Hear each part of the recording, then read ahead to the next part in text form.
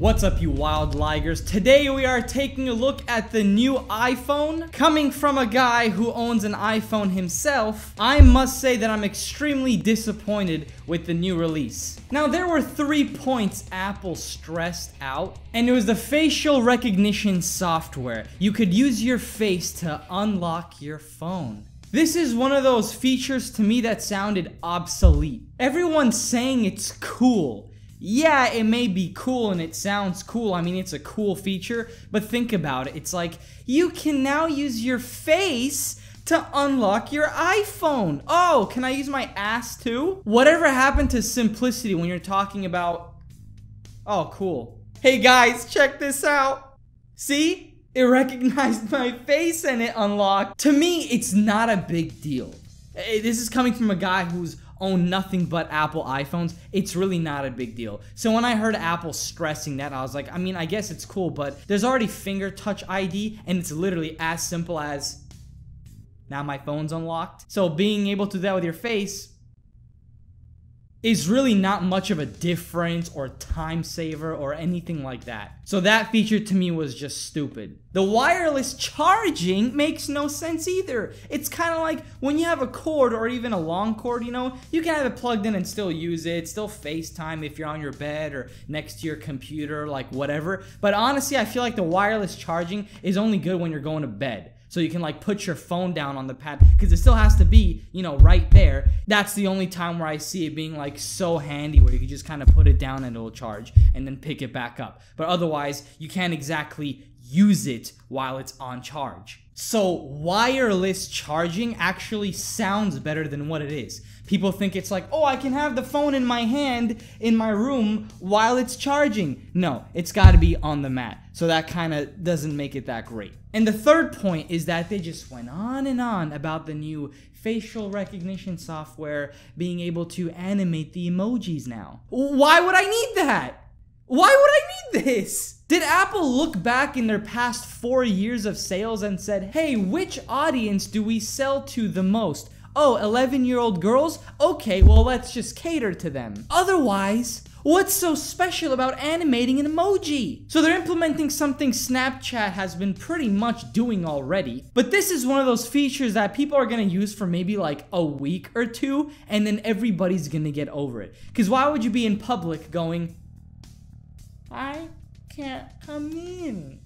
I'm late for work. Like this guy's facial expression says it all. This is one of those things the little girls are gonna love so much for maybe about a week. It's also one of those things where, surprise, all the girlfriends are gonna be sending cute whatever stuff to their boyfriends for maybe the first months while their boyfriends receive them and go.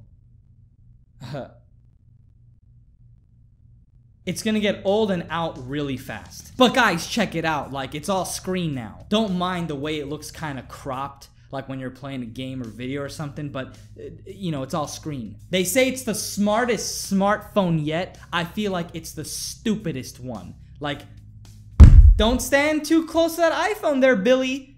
You'll catch it stupid. And then the portrait lighting mode, which is just a fancier way of saying, you know, a filter or maybe even a simple Photoshop tool, but now it's included in your phone. Precise facial mapping, creating striking studio-like quality images all you're doing is darkening the background. It ain't that fancy. Now, as a video guy, I really enjoy the optical stabilization, the 1080p slow-mo. That's great and all, but it's priced at a $1,000. Yeah, so is the Blackmagic Pocket Cinema camera with 13 stops of dynamic range, which is gonna give you already much better quality than any iPhone can put out. But you want me to pay a $1,000?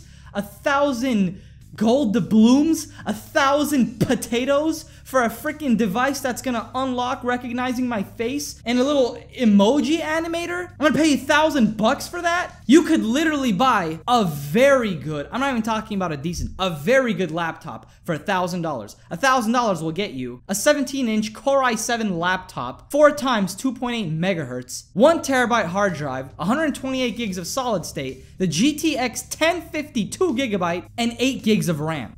Like, Why would I buy it? Oh, and it's faster. Like, what does that even mean? Every iPhone in the past has always claimed it's faster than the previous one. Yet most people will never tell the difference between like the iPhone 4 and the 7. So facial recognition that's virtually useless. Wireless charging that sounds way better than what it actually is. And being able to animate emojis, which is possibly the most useless thing I've ever heard of. As if I'm gonna stand there with my iPhone 24 7, making funny faces at it so I can make poop talk. But let's not forget the augmented reality, which is funny because it's just one of those things where there was an app for that, but now it's kind of like a feature. That's all iPhone's doing nowadays. Nothing's really exclusive, nothing's really revolutionary. And I don't know if I'm alone on this one, but I'm still ticked off about the fact that they got rid of their aux port. I don't care what anybody says. When you have headphones like this, beautiful noise canceling headphones, or anything else you're using because, you know, you want everything to be more simple and practical and hassle free, I don't care about adapters. The less I have, the better.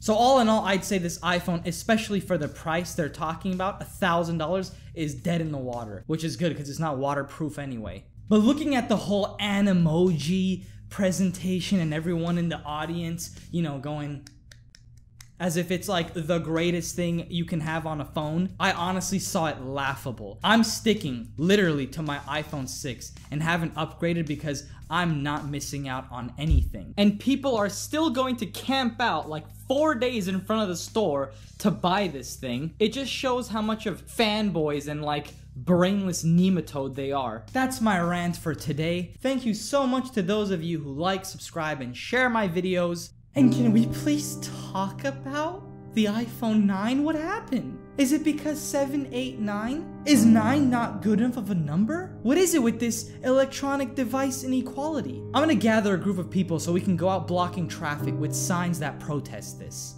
Oh, but the X, ooh, the X is...